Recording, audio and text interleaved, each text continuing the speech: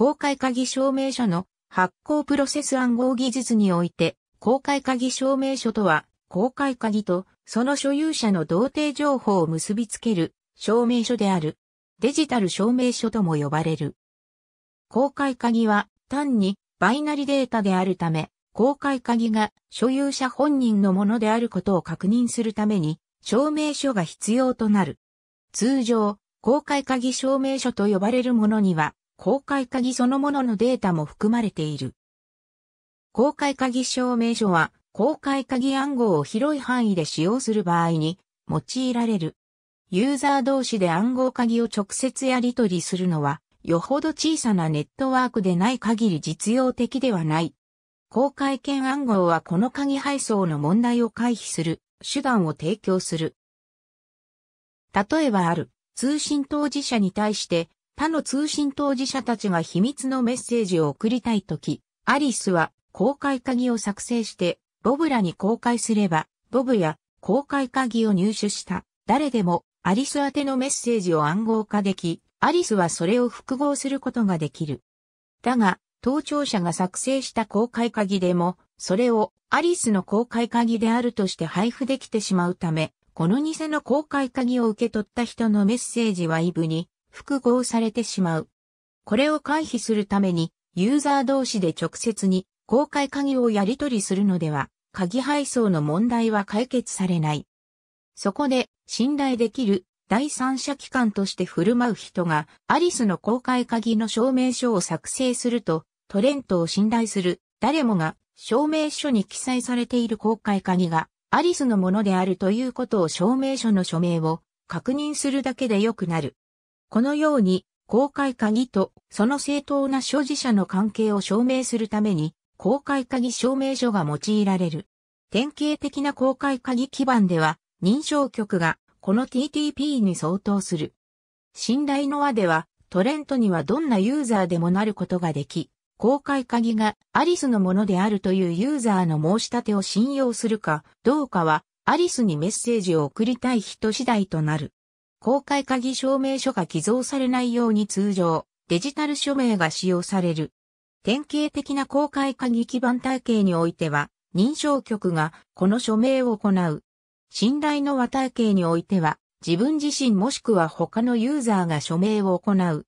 どちらの場合でも証明書に署名をした者が、公開鍵と所有者情報との結びつきを証明し、証明書の正当性を保証することになる。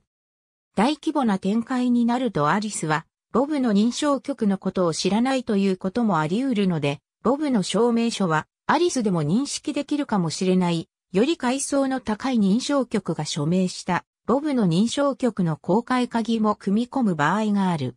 このプロセスは証明書の階層構造、そして複雑な信頼関係に達する。公開権基盤は大規模な設定で証明書を管理するソフトウェアを対象とする。X509 では証明書の階層構造はトップダウンのツリー構造であり、認証局を複数の第三者機関によって信頼するという必要をなくすために体系の中心として認証局を代表するルート証明書がツリーの先端となる。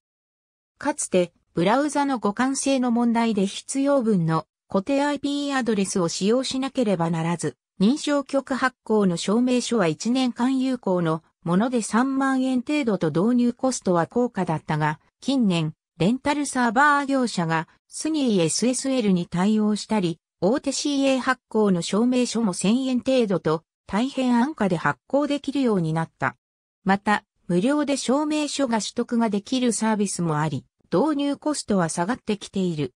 秘密鍵の信頼性がなくなったり、証明書に埋め込まれた公開鍵と所有者情報の関係が変更されたり、誤っていることが発覚したりした場合は、証明書が執行する場合がある。